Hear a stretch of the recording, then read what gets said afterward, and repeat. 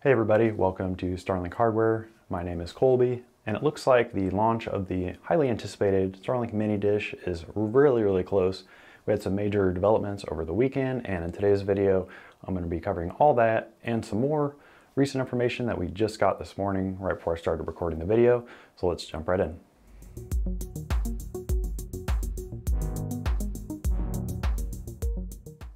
So it started off with an FCC approval that we saw come through on the Starlink Mini's router module. And then it escalated further when we got a Starlink app update. Now the app update gave us a lot of information, including our first look at what the Starlink Mini actually looks like.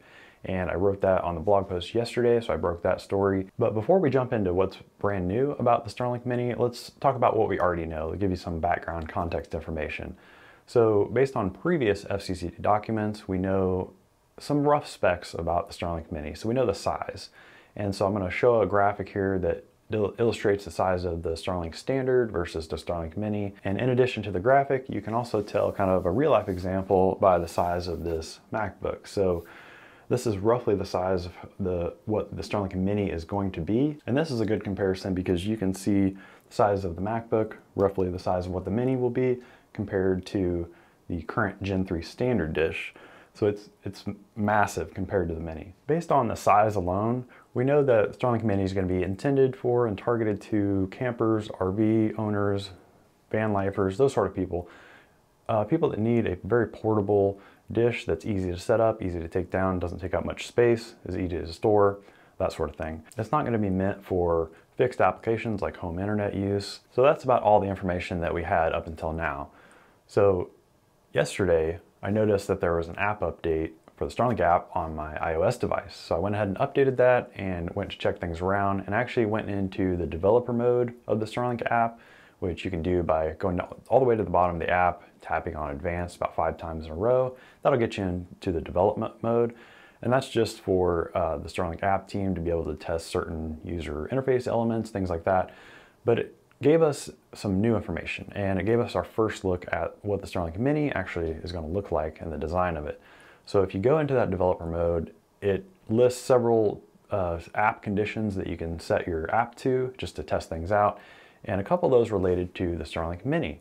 So if you tap on the one where it says Mini connected, you can see actual graphic, a rendering of what that Starlink Mini is going to look like and it looks pretty much like just a small mini version of the standard. So it's got the kickstand and everything, just a very small version of that. And that was the basically the first time that we've actually seen what the mini looks like and all the FCC approval documents and all that things. The images of and the photos of the device have actually been kept confidential. So it's nice to see now what the actual product will look like. In addition to the first images of the Mini, we actually got a little bit more information from the app update. So if you go and play with some of the other settings when you're in that mini dish mode, I found out one more important detail, and that is that this Mini is gonna have a built-in Wi-Fi router. So if you go into the Mini development mode and you click on the router and the device settings, I saw that the devices, the test devices in that development mode were connected directly to the dish itself. So there wasn't like a separate router graphic like normal, like you would see with the Gen 3 or the Gen 2 when you're in that same app status mode.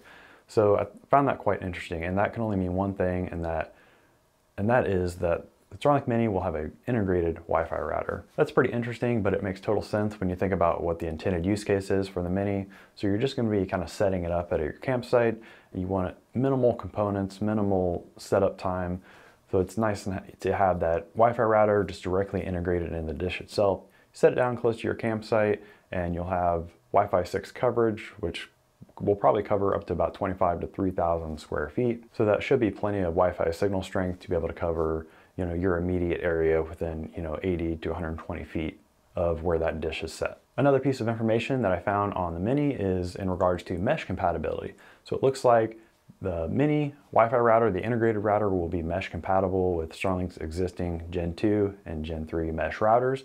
So you'll be able to wirelessly pair an existing maybe Gen 2 or Gen 3 router with your Starlink Mini directly to form that wireless mesh network in case you needed additional Wi-Fi coverage beyond just the integrated router in the dish. So we got some basic information on the Mini, like what it's gonna look like, some of the features like the router that's integrated, but just before I started filming this video, we also got some tweets from Elon Musk that revealed some additional details about availability and pricing. So Elon Musk tweeted you know, early this morning that he was actually using the mini dish to post several tweets and he was testing it out and he posted actually a speed test. So we get some performance indications from that. So he posted a, a speed test. It looks like the download speed was about 100 megabits per second and the upload is about 11 megabits per second. So right around where, you know, I thought it would be based on Amazon Project Kuiper's mini dish that they said would have a targeted speed of about 100 down and 10 up. So the Starlink Mini looks to be right around there. So you're gonna compromise, because of the smaller antenna, you're gonna have some compromise with portability and the performance. So the performance is gonna be a little bit lower, but you're gonna have that ultra portable design. Musk also talked about the pricing and availability. So he had mentioned that the pricing should be about half of the standard dish. Starlink just lowered the standard dish's price from $5.99 to $4.99 in the United States. So we can expect the Starlink Mini to cost between 250 and $300, somewhere in that price range. Musk also tweeted that the Starlink Mini should be available in the next few months. So probably sometime this summer is when we're looking at as far as a release date. Earlier in the year, he said it would be available sometime in 2024. So you kind of have to take what Musk says as far as his timelines with a grain of salt because oftentimes he's pretty optimistic about those things. But I think we'll definitely see it sometime this year, sometime this summer. And what I had mentioned about the app update and things like that are definitely indications that they're moving forward with a pretty much an imminent launch of the product. The final detail that Musk shared on Twitter this morning was that it's going to be rolling out to select areas, so it's not going to be a you know worldwide product launch all at once. It'll probably start in the United States, maybe in select areas of the United States, and then roll out from there, kind of like how we saw with the Gen 3 standard dish. So now, what are the major questions that we don't have answers for? Well, we don't know if it's gonna have a DC power supply option,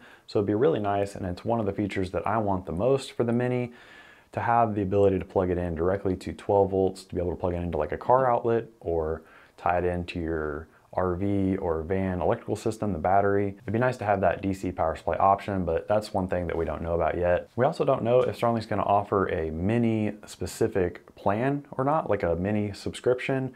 A lot of people are gonna be using this very sporadically just for like their camping trips or whatever.